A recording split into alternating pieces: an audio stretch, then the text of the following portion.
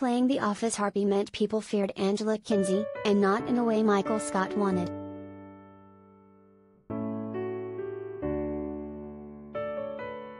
In real life, I'm super chatty, the actress, who starred as Sourpuss Angela Martin in all nine seasons of The Office, exclusively tells Page 6.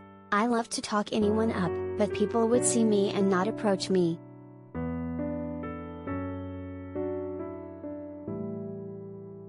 Kinsey remembers traveling once with Brian Baumgartner, who played the lovably hapless Kevin Malone on the NBC sitcom, only to have everyone delightedly yell, Kevin, when they saw him.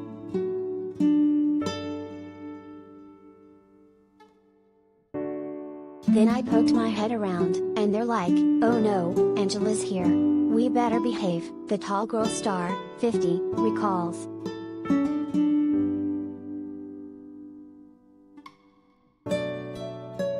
Kinsey, who hosts the Office Ladies podcast with former co-star Jenna Fischer, admits that after nine years of having a resting bitch face, her features sometimes revert back, much to the consternation of her husband, Joshua Snyder, who in turn thinks something is wrong.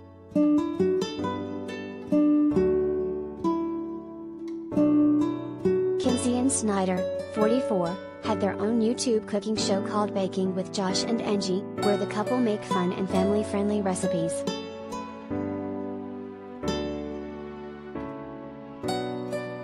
I think our whole motto for our channel is if we can do it, you can do it because we're self taught and definitely if I can do any of them, you can, Kinsey says with a laugh.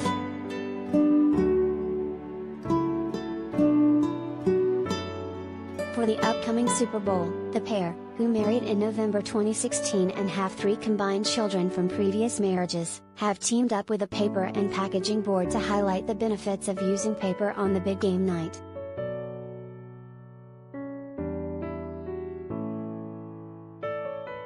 The two are clearly in sync in the kitchen, except for one glaring issue how to load the dishwasher.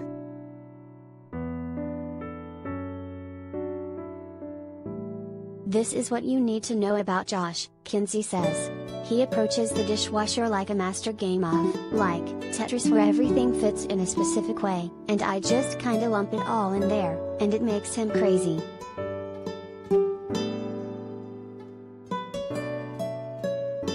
Snyder, however, is quick to defend his dishwasher dexterity, explaining to us that not only does it not get as clean when their dishes aren't organized, but it also makes a difference when you're putting the dishes away.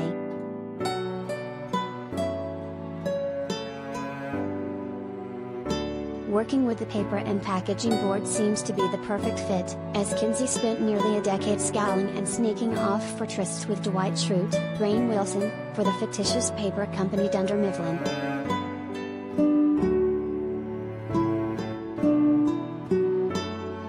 The Louisiana native says she loved being part of a couple who were the polar opposite of the fan favorites Jim Halpert, John Krasinski, and Pam Beesly, Jenna Fischer.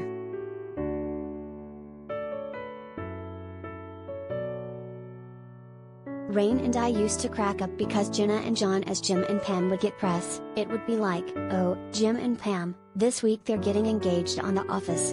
And everyone would be like on the comment board, oh, I can't wait. Jim and Pam, yay.